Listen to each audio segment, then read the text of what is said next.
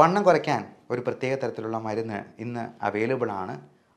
അത് fat burn ചെയ്യാനായിട്ട് നമ്മളെ സഹായിക്കുന്ന ആൽഫ സൈക്ലോഡെക്സ്ട്രിൻ എന്ന് പറയുന്ന ഒരു തരത്തിലുള്ള പ്രത്യേക മരുന്ന്. നമ്മൾ ഭക്ഷണത്തിന് മുൻപ് ഓരോ ടാബ്ലറ്റ് രൂപത്തിൽ മൂന്ന് നേരം കഴിച്ചെന്നാൽ ഈ പറഞ്ഞ വണ്ണം കുറയ്ക്കാനായിട്ട് സഹായിക്കുന്ന എഫ് ഡി എ അപ്രൂവ്ഡ് ആയിട്ടുള്ള ഒരു മരുന്ന് തന്നെയാണ്. ഫുഡ് ആൻഡ് ഡ്രഗ് അഡ്മിനിസ്ട്രേഷൻ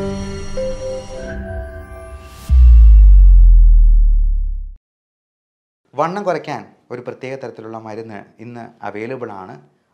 അത് ഫാറ്റ് ബേൺ ചെയ്യാനായിട്ട് നമ്മളെ സഹായിക്കുന്ന ആൽഫ സൈക്ലോഡെക്സ്ട്രിൻ എന്ന് പറയുന്ന ഒരു തരത്തിലുള്ള പ്രത്യേക മരുന്ന്. നമ്മൾ ഭക്ഷണത്തിന് മുൻപ് ഓരോ ടാബ്ലറ്റ് രൂപത്തിൽ മൂന്ന് നേരം കഴിച്ചെന്നാൽ ഈ പറഞ്ഞ വണ്ണം കുറയ്ക്കാനായിട്ട് സഹായിക്കുന്ന എഫ് ഡി എ അപ്രൂവ്ഡ് ആയിട്ടുള്ള ഒരു മരുന്ന് തന്നെയാണ്.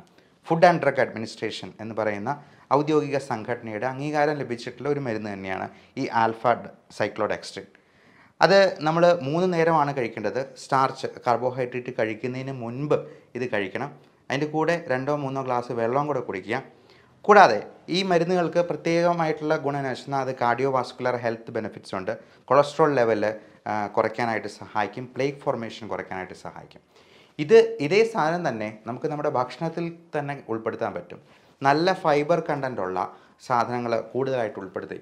ഈ വണ്ണം ഉണ്ടാക്കുന്ന സാധനങ്ങൾ ആദ്യം ഒഴിവാക്കുകയാണ് വേണ്ടത്. ഉദാഹരണത്തിന് മധുരം. അതുപോലെ ഈ ബേക്കറി സാധനങ്ങളിലുള്ള മിക്കവാറും മധുരമുള്ള സാധനങ്ങളിലൊക്കെ ഹൈ ഫ്രക്ടോസ് കോൺ സിറപ്പാണ് പഞ്ചസാരയേക്കാൾ വില കുറഞ്ഞ ഒരു വസ്തു.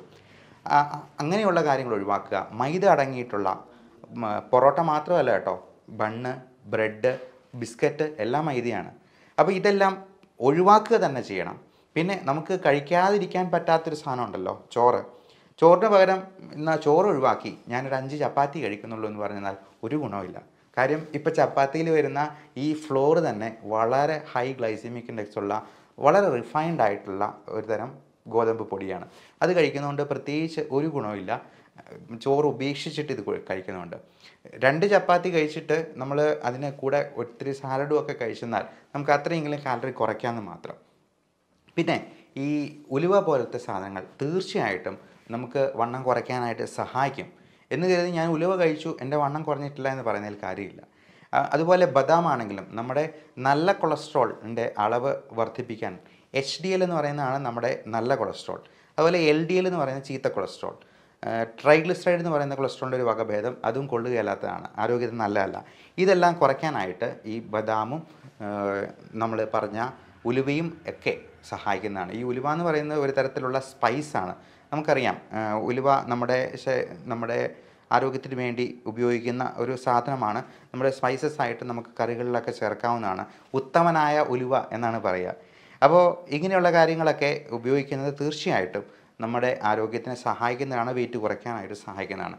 പിന്നെ ഈ പൊടി കലക്കി കുടിച്ച് വെയിറ്റ് കുറയ്ക്കുന്നതിനെ കുറിച്ച് നമുക്കൊന്ന് വരാം. ഇവ ഇങ്ങനെയുള്ള ഇപ്പോൾ വിപണിയിൽ അങ്ങനത്തെ പല പൊടികളും അവൈലബിൾ ആണ്. ഇങ്ങനെയുള്ളവരൊക്കെ പറയുക രാത്രിയിലത്തെ ഡിന്നറിന് പകരം ഇത് കഴിക്കണമെന്നുള്ളതാണ്. അവിടെ തന്നെ നമ്മൾ ടെക്നിക്ക് മനസ്സിലാക്കണം. നമ്മൾ ഡിന്നർ ഒഴിവാക്കിയെന്നാൽ തന്നെ ഒരു ദിവസം ഇരുന്നൂറ് ഗ്രാമോളം വെയിറ്റ് കുറയ്ക്കാൻ പറ്റുമെന്ന് മനസ്സിലാക്കുക. ഇരുന്നൂറ് ഗ്രാം വീതം ഓരോ ദിവസവും അങ്ങനെ പത്ത് ദിവസം കൊണ്ട് നമുക്ക് രണ്ട് കിലോ കുറയ്ക്കാം. അപ്പോൾ നമ്മൾ ഈ പൊടി തന്നെ വാങ്ങിച്ച് വലിയ വിലയ്ക്ക് വാങ്ങിച്ച് കഴിക്കേണ്ട കാര്യമില്ല. ഡിന്നർ അങ്ങ് ഒഴിവാക്കുക. പകരം സീറോ കാലറി ആയിട്ടുള്ള എന്തെങ്കിലും എന്തെങ്കിലും സാലഡിലേക്കോ വളരെ മധുരം കുറഞ്ഞിട്ടുള്ള പഴങ്ങളിലേക്ക്. ഇപ്പോൾ നമ്മൾ പേരയ്ക്ക പോലത്തെ സാധനങ്ങൾ നല്ല മധുരമുള്ള മാങ്ങാപ്പഴമൊക്കെ കഴിച്ചിട്ട് കിടന്നാൽ ചോറ് കഴിക്കുന്നതിനേക്കാൾ കൂടുതൽ കാലറി ഉള്ളിലോട്ട് ചെല്ലും. അതുകൊണ്ട് അങ്ങനെയുള്ളതൊന്നും അഭികാമ്യമല്ല. പകരം ഇങ്ങനെ ഇത്തരത്തിലുള്ള കാര്യങ്ങൾ ചെയ്യാം. പിന്നെ നമ്മൾ സ്ലോ ആയിട്ടുള്ള എക്സസൈസുകൾ പരമാവധി ചെയ്യാനായിട്ട് നോക്കുക.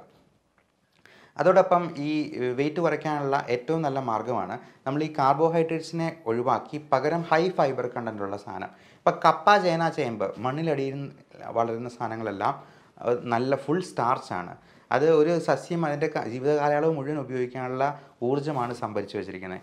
എന്നാൽ ചക്ക എന്ന് പറയുന്നത് വളരെ നല്ല സാധനമാണ്. കാരണം അത് മരത്തിലുണ്ടാകുന്ന ഒരു ഫ്രൂട്ടാണ്. ഇഷ്ടം പോലെ ഫൈബർ കണ്ടന്റുള്ള ഒരു ഫ്രൂട്ട്. ഈ ചോറിന് പകരം നമുക്ക് ചക്ക കഴിച്ച് നോക്കിക്കേ. ചക്ക കഴിച്ചിട്ട് ഷുഗർ ഉള്ളവരാണെന്നുണ്ടെങ്കിൽ ചക്ക കഴിച്ചിട്ട് അതിന് ശേഷം രണ്ട് മണിക്കൂർ കഴിഞ്ഞിട്ടുള്ള ഷുഗറും പിറ്റേ ദിവസം രാവിലെയുള്ള ഷുഗറും ഒന്ന് ചെക്ക് ചെയ്ത് നോക്കണം. ഉറപ്പായിട്ടും നിങ്ങൾക്കൊരു അൻപത് മില്ലിഗ്രാം എങ്കിലും ഷുഗറിൽ കുറവ് കാണിക്കുന്നതായിട്ട് കാണാം. മറ്റ് ദിവസങ്ങളെ അപേക്ഷിച്ച്. ഇപ്പോൾ ചോറ് കഴിച്ചിട്ടും അല്ലെങ്കിൽ ചക്ക കഴിച്ചിട്ടുമുള്ളത് നോക്കുക. ഇങ്ങനെയുള്ള സാലഡ് കൂടുതലായിട്ട് കഴിക്കുന്നത് അതിനെ ദഹിപ്പിക്കാൻ നമ്മൾ കൂടുതലായിട്ട് ഊർജം ചിലവാക്കേണ്ടിയും വരും. അതുകൊണ്ട് അത് കഴിക്കുന്നത് നമുക്ക് കൂടുതലായിട്ട് ഈ ഊർജം ചിലവാക്കിപ്പിക്കാനും അങ്ങനെ വെയിറ്റ് കുറയ്ക്കാനായിട്ടും സഹായിക്കുന്നതാണ്. അപ്പം വെയിറ്റ് കുറയ്ക്കേണ്ടത് വളരെ അത്യാവശ്യമാണ്. അതിന് വേണ്ടുന്ന കുറച്ച് എക്സസൈസുകളും മാർഗങ്ങളും ഉണ്ട്. അതും നമുക്ക് വഴിയെ ഡിസ്കസ് ചെയ്യാം. എല്ലാവർക്കും നല്ല ആരോഗ്യം ആശംസിക്കുന്നു. നന്ദി. നമസ്കാരം.